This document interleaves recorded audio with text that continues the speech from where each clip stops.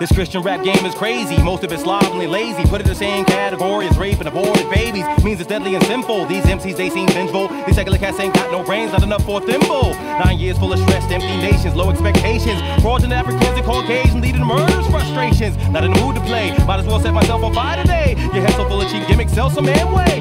Come out looking like Meshach anyway. You can't stop me. God will execute headshots for this hypocritical mockery. Your last words before your blood hits the floor. You wanna settle the score? Since when did my Lord Jesus Christ rip the set so hardcore? Why is the sixth level of Hades filled with so many MCs? With the lips ripped from the mouth, punishment for the vocal disease. Now you're asking me what happened to the holy, the humble. Realize guys like a thousand Afro thunders are ready to rumble.